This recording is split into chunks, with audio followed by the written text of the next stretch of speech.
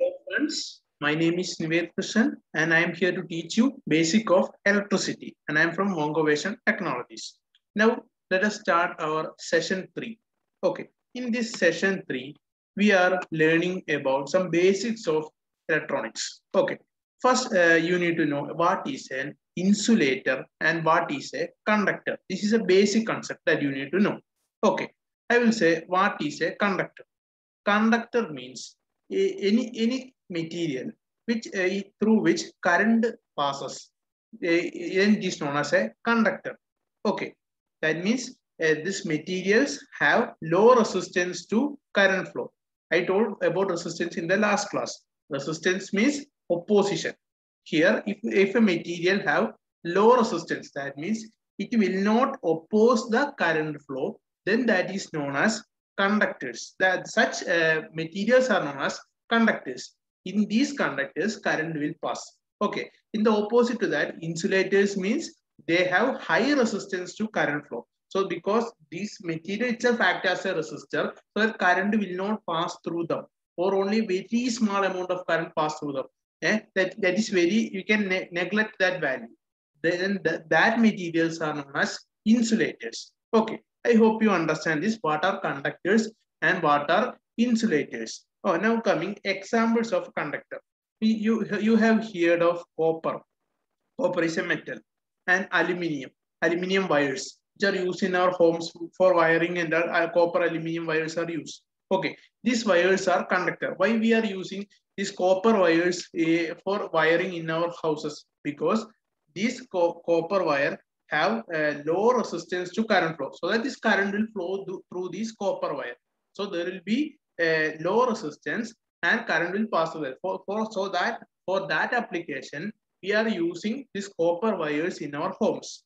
Okay. Uh, then these are the, uh, then coming to examples of insulators. You know that glass. Glass is a perfect example of insulator. Current will not pass through uh, glass. Glass will resist the uh, the current flow okay another example is rubber okay rubber and uh, you need to uh, you to know that another one more example is dry air these are the insulators through these uh, materials this uh, our uh, our current will not pass or a very small negligible amount of current only will pass okay that you need to understand now coming to this first you need to know ohm's law Ohm's law is one of the basic laws of electronics that you need to know. Okay, I'll uh, tell about that uh, in an easy manner. Okay. In the last class, we have uh, studied about voltage, current, and resistance. Okay. Ohm's law is a law which connects these three parameters. That means, uh, okay, it is a relationship between that three uh, quantities that we have already learned. Okay. Then what is Ohm's law means? Ohm's law, there is an equation. So equation uh, that is voltage is equal to I into R. That means voltage is equal to current into resistance. Okay, that you need to learn. Okay, now we, uh, from here we can write I equal to V by R. We place I here and we will bring this R to, uh, to left side. So that this here it is multiplication, it will become division. So uh, another equation is uh, I equal to V by R. Then we can also find the value of R. By, uh, we can place R in the right side and bringing I to the left side, it become division so that R equal to V by I. Okay, this is the equations of Ohm's law that you need to remember. Uh, and R is resistance, V is applied voltage, I is the current as we studied in the last class. Okay, this is an easy uh, pie chart to remember this Ohm's law. Uh, you need to just write E, I, and R in this in this manner. Okay. Now, in order to find resistance, we close the part of resistance. It is so we can here it is voltage. A voltage is represented by E or V. Okay. Here it is E by I. It is what this resistance. Okay. Then if we want to find the current, we close this. Then it is uh, E by R. That is voltage by resistance. If you want to find the voltage, we will close this uh, voltage. It is I into R, V equal to IR. Okay, this is an easy way to remember the equations. Okay, I hope you understand this. Okay, now let us study uh, another component. Like resistor, there is a, an, another component that is known as capacitor. I will say the purpose of a capacitor. Okay. What is the purpose of capacitor uh, means this capacitor uh, store electric charges. Okay, resistor means it will oppose the current flow. Capacitor means it will store electric charge. I'll show I'll show uh, I'll tell about how is the construction of a capacitor. Okay, look here, capacitor consists of two plates like this, two plates. And there will be a small space in between these two plates. Okay, in this in this space, okay, between two plates, there is I told that there will be a space. In this space, there will be an insulator. Okay, this is the construction of a capacitor.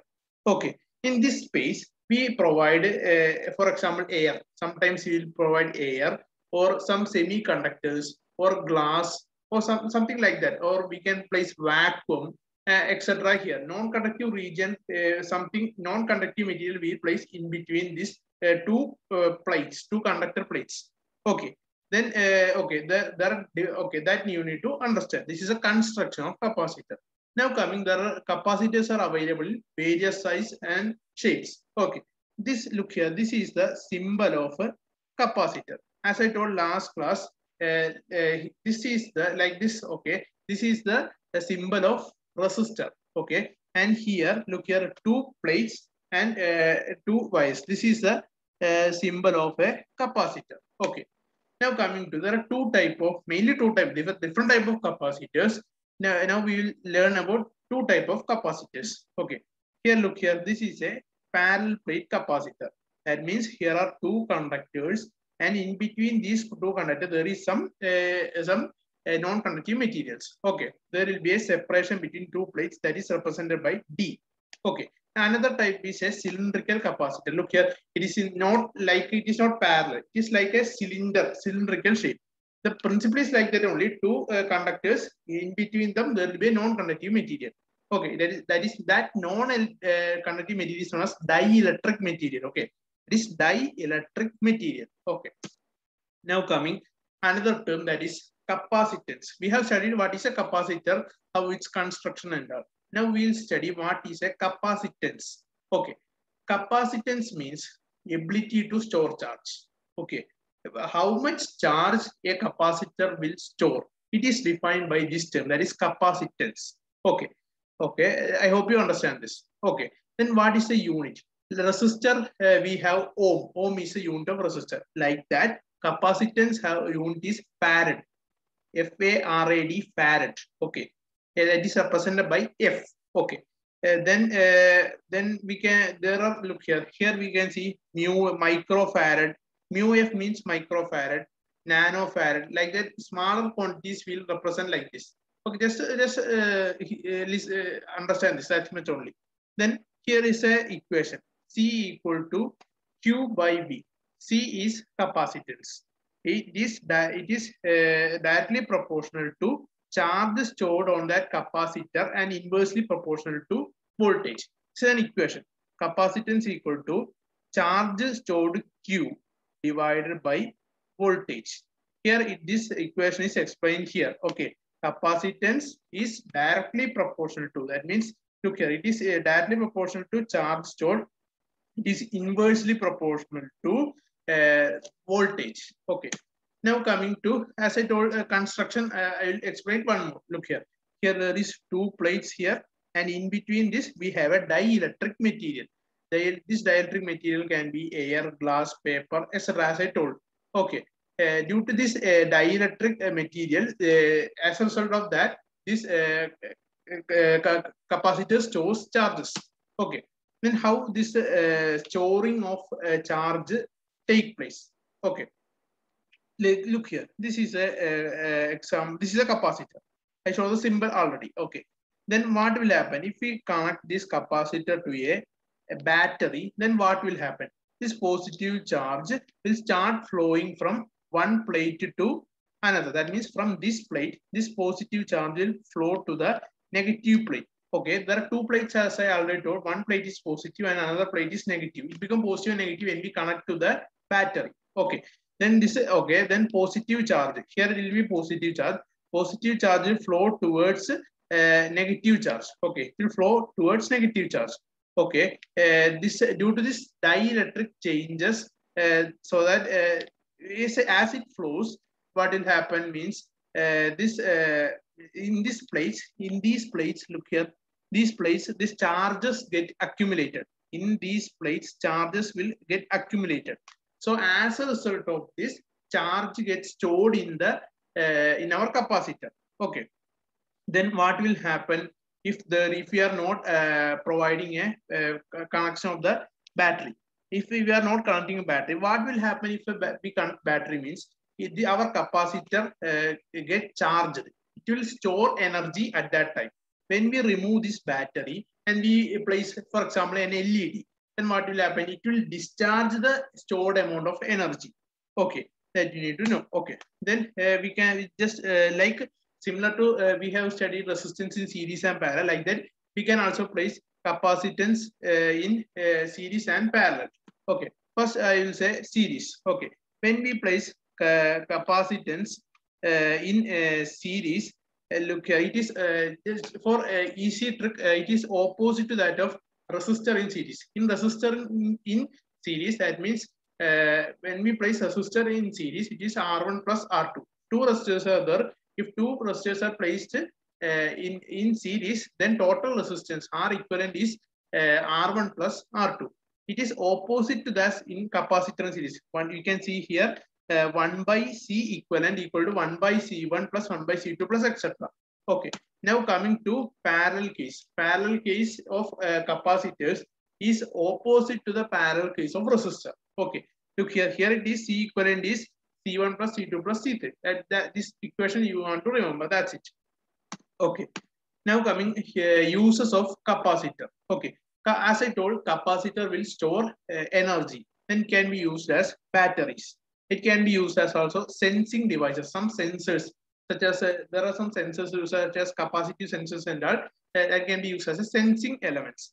Okay, then it can be used to separate AC and DC and it is also used in vehicle audio systems. Okay, now we come to another topic that is multimeter. Okay, then I will say what is a multimeter. Multimeter is a device used to measure different, uh, different parameters. It can measure voltage, current, resistance, etc using this single device, we can measure everything. Okay. Then uh, here you can see this is a, a, a multimeter. When we change, the, when we uh, rotate this thing, we can uh, this uh, we can measure voltage or resistance according to that. Okay. Then can measure voltage, current, and resistance. Okay. That you need to remember. Okay. Then uh, as I told, it will measure resistance, voltage, and current. Okay. Then uh, basic uh, it, uh, basic um, uh, multimeters will measure these three components, these three parameters. More advanced multimeters are also present. They will measure capacitance, inductance, and temperatures, etc. Okay. So uh, since this uh, can measure many components, it is named as multimeter. Okay. Then uh, parts parts of the multimeter. It will be having a scale. I will show you that thing. Yeah. this is a, a digital uh, this part is digital part. Okay. Here, this is a scale. Yeah, you can hear here it is uh, the different values are here. That is on a scale. This is the pointer. Okay. Po uh, pointer. Uh, but uh, what we can say, yeah, yeah. Here, this what we we cannot say this is like that. Okay. Why? Because I will I'll, say that this is the figure of a digital multimeter. In this manner, we don't have this pointer and in old time, we are, we are having analog multimeters. In that case, what will happen? Our needle will move like this. Then we get a reading. In that case only, uh, in that case, the parts is shown here. It will be having a scale, a needle, adjustment screws, uh, ohm selector. That is, uh, selector knob is shown here. This is a selector knob. That means this when we rotate this knob, it will uh, it, we can we, we can select which parameter we want to check. Okay. This this just remember. Okay. Now coming, uh, this come to the end of the presentation. Now let us go to the uh, practical part. Okay. One second. I will share my screen now. Okay. Yeah. Okay. Yeah. Yeah. Now uh, you can see my Tinkercad now. Okay. Yeah, okay. Uh, now, uh, one second. Okay. Yeah. Here, uh, as I told in the last class, this is a uh, Tinkercad uh, interface. Here, as I told uh, last class, here there are many components present here. Okay. Today, since we have studied about capacitors, we can do some exercise using this capacitor. Okay. There are two type of capacitors. Look here. This is one type of capacitor. Okay. These capacitors are known as non-polarized capacitors. There is also another type of capacitors. Okay. I will show you that one second. We can uh, search here. Okay. You can search for capacitors. Yeah. I, I have uh, searched for capacitor. Look here. This is a polarized capacitor. I will show you, I'll tell you about the difference between the both. Okay. In this uh, non-polarized capacitor, there is no uh, definite positive or negative. But in case of this uh, no uh, polarized capacitor, it has positive. Look here, it has this one is negative, this one is positive. But in case of non-polarized, it has only terminal one and two. We can connect it anyway. There is no positive or negative. Okay. For today's exercise, we are only using uh, our no polarized capacitor. Okay. Now, last class, we have blinked an LED. Okay. Using a switch and all. You remember? Okay. We can use, I'll explain this concept using the same example. Okay. I will, I will now take a LED. Second. Okay. I am now taking an LED. Okay. I'm placing it here. Okay. Now uh, we can take a battery. Okay. Today uh, we can take a coin cell battery. It is a 3 volt battery. Okay. Now uh, as in last class, we can take a switch also. We can take a slide switch. Okay. Yeah, we can take a slide switch. Yeah, here it is slide switch. Okay, I am placing the slide switch here. Now we can arrange this thing. Okay, I am placing some more bottom so that you can uh, see it properly. Yeah, look here. Yeah, I have placed it like this. Okay. Now we need to make the connections. Okay. Uh, you uh, you can do it your own. I'll uh, tell the connection. Okay. First, from the negative of the battery. Okay. From the negative, I am taking this wire. One second, and I am placing into the one second. Okay. I am placing into the common of the our slide switch. Okay. I hope you understand this. Since it is the negative part, we can uh, color it as black. Okay, I am coloring it as black. But yeah, it is now okay. Now from the uh, terminal 2, okay, I am giving it to the our uh, capacitor. Okay. Okay, uh, now yeah, once again, I'll make it, once again, once again. Uh, not the positive to the negative part. Once again, I'll place it here. Okay. Now it is easy to do that. Okay. From the terminal 2 to the, okay. yeah, to the negative. Okay. I have provided that connection. Yeah. From this ne negative, uh, means this negative itself, uh, I am uh, connecting it to the uh, cathode. Cathode, yeah, I am connecting from the cathode to the, yeah, to the negative of the, our a capacitor. Okay, I have made that connection. Okay, now uh, we can connect the positive part. First positive part, I am connecting this one. First for that, I am changing the color to red. Not this one. Okay, this one we need black itself. Okay, yeah. Okay, I, after drawing, we can change the color. Anode, I am connecting it to the positive of the coin battery. We can change the color to red. Yeah, I have made uh, a change to red. Okay. Now from the, look here, this is the positive of the, our uh, capacitor. From the positive of the capacitor, uh, we will uh, connect to the positive of the battery. One second. Okay. Uh, yeah. From here, I am connecting to the positive of the battery. Yeah. Now our circuit is completed. I will show you what will what will be the uh, use. Uh, what is the use of a capacitor now? Okay. Now first we need to click on the start simulation. Okay. Now I am uh, click switching on the switch. Yeah. When we switch on our uh, switch, when we slide our switch, what is happening? Current will flow through this circuit and uh, our LED is glowing. Okay. Now I will show you when I uh, switch off the switch. Look here, you can see here after, yeah, uh, when you see clearly, I'll show you one more time. Yeah, when we uh, slides, when we off the slide switch, our LED is blinking even after our switch is off. What is happening is, I will say, that means when we are uh, switching on our switch, this our capacitor is storing the charge. Okay, when we switch off this slide switch, this capacitor discharges the charge and using that charge, our LED is still glowing even though connection from the battery is uh, disconnected. Okay, uh, for uh, understanding that, I will do show you one more time. Okay, I am switching on the switch. Now it is on.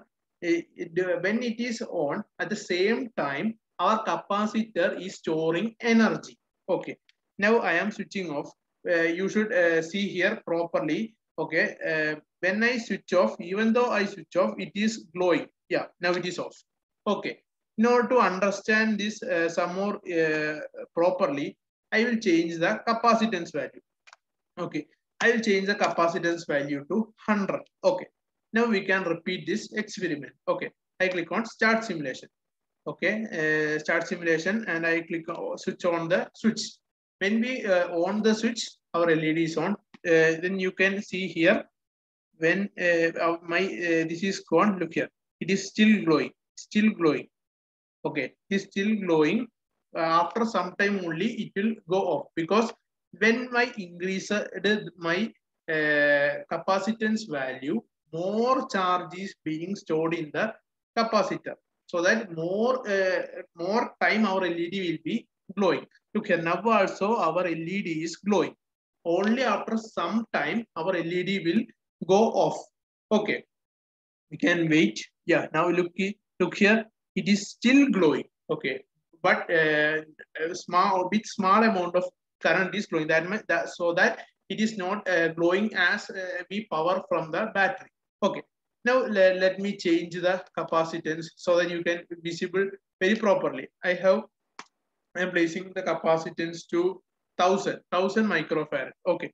So that uh, 1000 microfarad uh, that i have increased the capacitance value so more energy will be stored more time our led will be glowing okay I, I will once again stop and I will start the simulation. I am switching on the switch. Now our LED is on. And during this time, the our as I told, this capacitance uh, values already increased. Okay, I, I have increased the value and the capacitor is storing the charge. Now I switch on off. Look here. It is still glowing. It is still glowing. Okay. Still still glow for some time. Some uh, time. Uh, only after uh, some, time our LED will be off.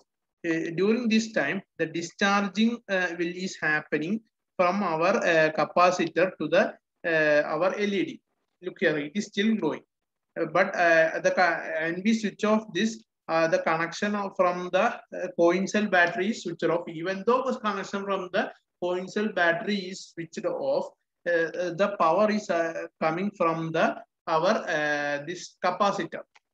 So as a result, our LED is still glowing. It will, uh, it will not uh, glow continuously because when the uh, charge stored in our capacitor is off, uh, is, uh, means this is the our capacitor is discharging the already stored amount of energy. So after some time, all the energy will be completely used for glowing of the LED. After that time, our LED will uh, switch off. Okay in this is the working of our capacitor. So you need to uh, look here, you need to make the connection in the same manner and you need to take the Tinkercad and do this exercise. Okay, I hope you understand this uh, working of uh, our capacitor. Okay, this is a uh, working of capacitor. It stores energy uh, when we supply the energy and it discharges uh, when, we, when we require. Okay, I hope you understand this and thank you. Okay, then we can see in the next class.